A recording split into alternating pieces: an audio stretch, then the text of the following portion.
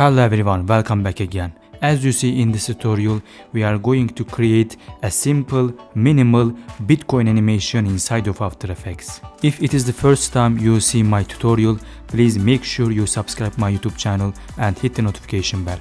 In addition, if you want to customize, if you want to use this logo animation, I will drop the project files in the description so that you can download and use for your projects. I don't want to waste your time, let's jump into the After Effects and let's have some fun. Let's get started.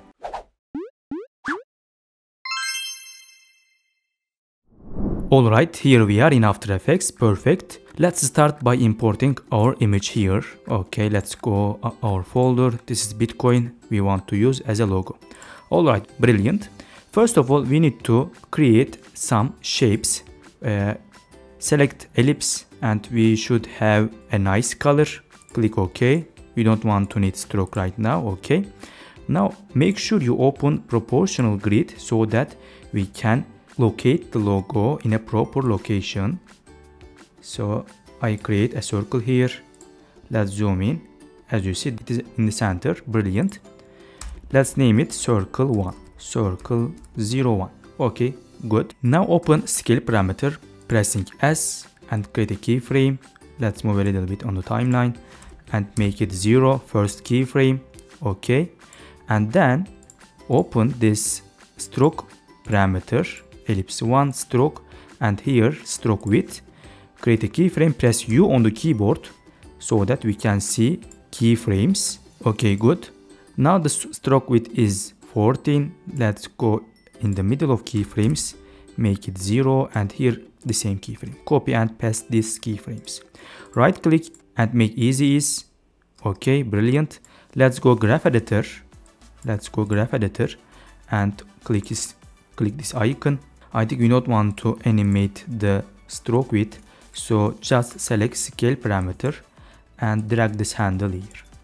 So we have this nice reveal of circle. Okay again select first keyframe and drag it at the beginning of timeline. Okay good. Now exit the graph editor and we want to have a stroke animation as well.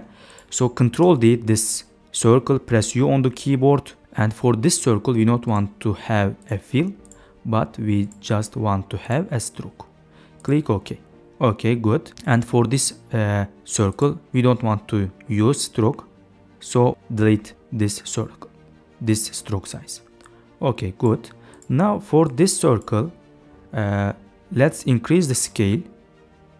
Okay good. And let's decrease the stroke width like 10 okay we have this nice animation as you see. I think we have a mistake here let's open this stroke width. This is 0 here. So make sure this stroke width should start with 0 this one with 10 and this keyframe should be same keyframe with this one. Copy and paste it. So we have nice a nice circle like this. All right excellent. Now we want to have second circle. So what I am going to do control shift Z pre-compose these shapes. Circle 1 okay brilliant. Put this one here by holding shift.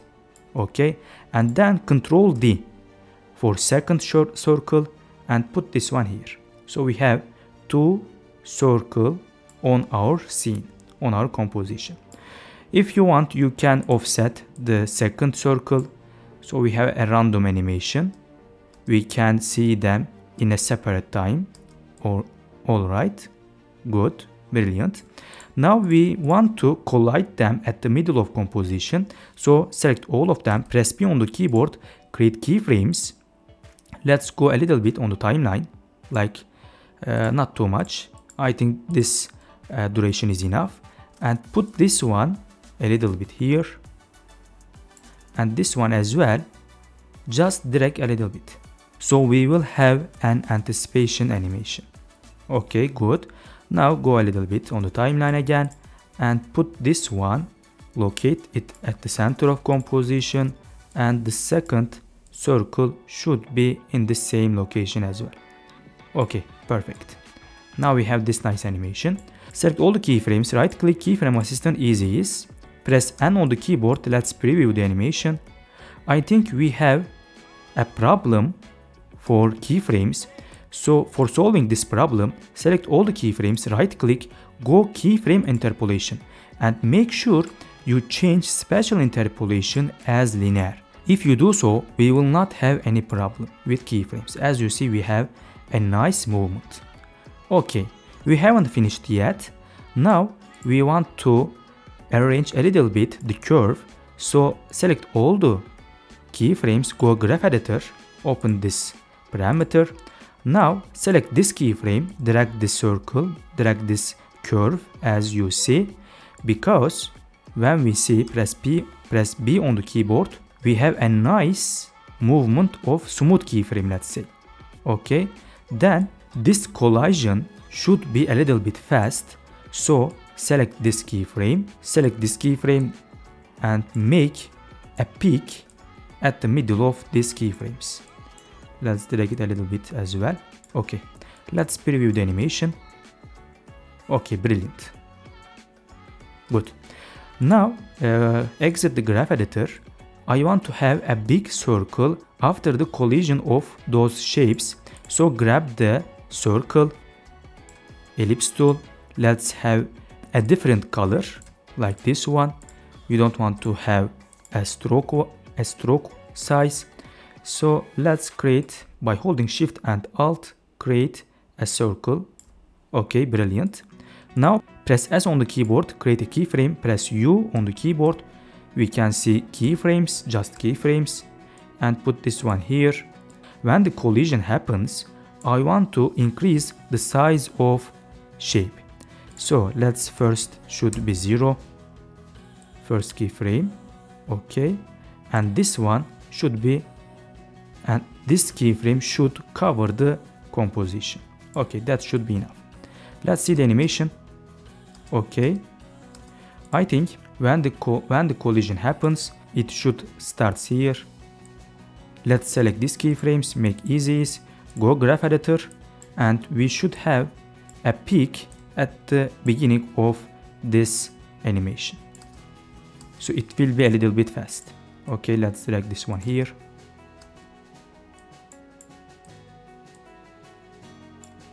I think I need to change this curves. Go graph editor and make sure you click this easy. Okay, and select this curve. Make it okay, good. Uh, and select those keyframes. Drag on the timeline. Let's see the animation. Okay, perfect. Yeah, brilliant. I like this type of animation. Okay, good. Now we want to have a burst animation. So go and grab the pen tool. We should have a stroke. Select stroke and select a different color. You can customize your color. You, you can choose whatever color you want. And at the middle of this composition create by holding shift a line here okay good I think I need to increase this size. Okay brilliant. We need to have a couple of this shape so create add a trim path and then add repeater. So let's have four copies go transform repeater 1 and decrease the position of x as 0 and make rotation as 90 so we have as you see four shapes. Okay brilliant go to the trim path let's make and and start animation and first and should be 0 go here and this one should be 100 and here create start and keyframes and drag them a little bit on the timeline Lastly, we need to have an easy ease animation. Okay, I think it, it is a little bit too fast. Drag it. Okay, good. Go graph editor. We should have a similar type of animation. Similar curve as you see on the screen. Okay, good. This is the burst animation when the collision happens. I think it should start here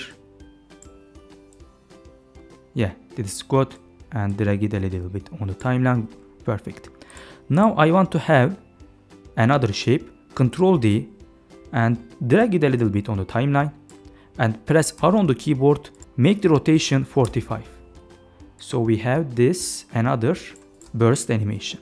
Okay I, I think I need to decrease the offset. Okay that's good. Okay last one should be another circle which should go a little bit above the shapes and it should hit the bottom again. So uh, we can use same shape here control D for this shape put it above the shapes press U on the keyboard. We don't want to have this first animation so drag this and trim this composition. Delete this position keyframes. Okay our shape is here. Put this one at the center of composition and go effect and controls here. I can open it. Effect and presets type fill color fill effect and apply on the layer. Change the color according our wish. Okay good. When the collision happens and when we see the big circle we should uh, animate this circle press B on the keyboard create keyframe and let's move a little bit on the timeline. Put this one here. Okay let's see. Good. Okay good. Again we sh should have a opacity animation as well by holding shift press T on the keyboard create opacity keyframe drag it a little bit on the timeline and make it zero. So we have so we have this nice ball animation as well. Okay select all the keyframes make easy and then when it reaches this location create another position keyframe and then it should hit the button here again. So we have this nice movement for the circle uh, select this uh, position keyframes go graph editor and select this second keyframe. Make this animation. Make this curve. Change the curve. So this shape will wait a little bit at the upper location. As you see. Brilliant. I like it. Okay. When it hits here I want to have a, a logo animation. So I think it is this one. Yeah this one. Control D and put above the first first above the circle. Press U on the keyboard. And let's go here. Decrease the scale. As you see I, I should have a different color for it. So let's grab this nice orange color. Okay. So when the pink shape pink circle. Hit the bottom we should have this trim this shape and drag this keyframe. Let's put a little bit. Yeah that's brilliant. Okay. Awesome. Now we should use our logo. Choose bitcoin logo and drag on the timeline. Let's trim this logo here. And we should animate it scale it a little bit okay good press p on the keyboard create position keyframe okay good put this one a little bit on the timeline and drag this bitcoin at the bottom of orange circle. Brilliant. Select and make easy ease go graph editor and have this curve because it should uh, start in a fast way and we should see the slow duration a little bit a little bit more. Okay good. Now control D this shape put above the bitcoin and we should mask the bitcoin with the shape. Select this pick whip and parent with first shape at the layer. So we have this nice reveal log animation. I think we can increase the bitcoin size. Press S on the keyboard and increase increase the size okay. Really amazing. Now as you see we don't have any background color so right click new create a solid. Let's name it bg and select color like greenish color. Click ok. Click ok and put under the all layers. I think i didn't like the color so apply fill color on it and have a color which shows a contrast between shapes. Let's select this color. I think I need to go circle and select a different like white color for the stroke animation. Yeah that's brilliant as you see. Okay perfect. If you don't like circle animations here the anticipation select all the compositions. Go graph editor here and first of all let's press U on the keyboard select keyframes go graph editor and put this let's see all of the size of composition and put this and change the curve. Let's see. Okay that's good. Brilliant. We did really good job as you see. A simple minimal logo animation inside of After Effects. Thank you guys for watching this tutorial. I hope you find it very useful. If you like this video, please hit the like button and if you want to see more tutorials using Adobe After Effects, please subscribe my YouTube channel and hit the notification bell so that you can notified with the upcoming tutorials. Until next tutorial, take care.